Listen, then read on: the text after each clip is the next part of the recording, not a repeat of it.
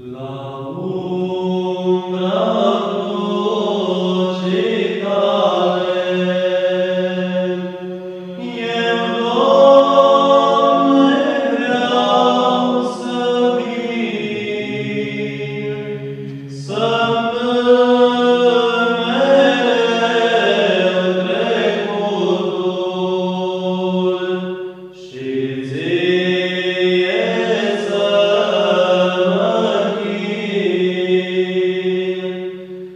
Mănăstirea Hodoș-Bodrog este una dintre cele mai vechi așezăminte monahale din țară.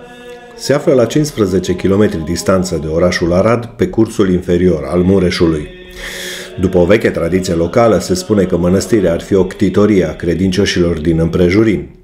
Tradiția mărturisește că un taur din turma unui pastor a scos la iveală dintr-o movilă de pământ icoana făcătoare de minunea Maicii Domnului cu pruncul Isus, iar pe locul unde s-a descoperit icoana a luat ființă mănăstirea. Pentru a confirma datele tradiției se mai păstrează și astăzi în Biserica Mănăstirii capul taurului care a descoperit icoana, precum și icoana făcătoare de minunea Maicii Domnului.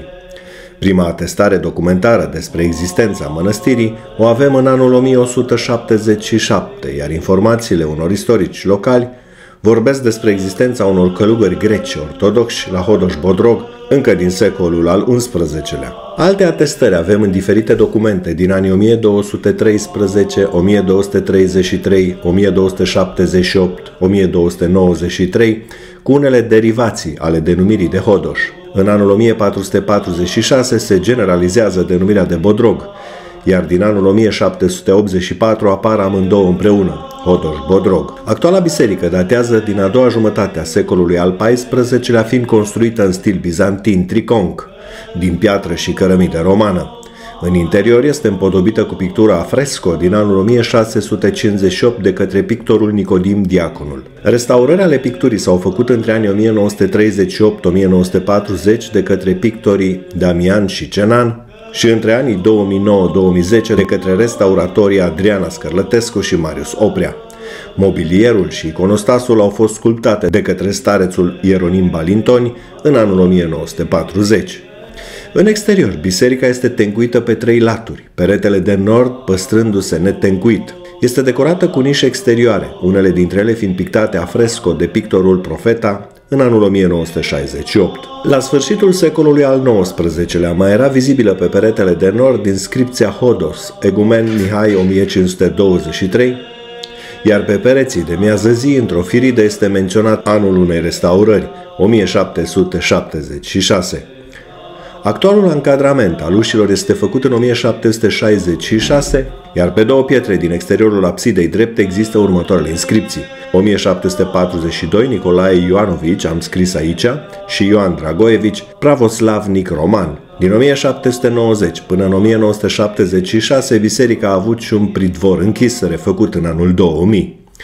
De-a lungul timpului au existat o serie de personalități care și-au adus aportul la dăinuirea acestui monument.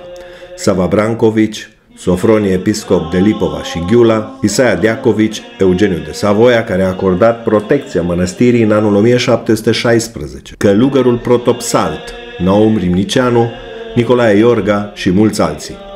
Dintre clădirile vechi se mai păstrează turnul Clopotniței, clădirea Stareției și o parte din zidul de incintă pe latura de nord. În secolul al XVIII-lea aici își făceau ucenicia tinerii care doreau să ajungă preoți, remarcându-se magistratul Timotei de Hodoș, 1714, precum și arhimandriții Gheorghe și Vicențiu. Tot aici, copiii țăranilor din satele vecine au învățat scrisul și cititul. Mănăstirea mai posedă și o valoroasă colecție de artă veche bisericească.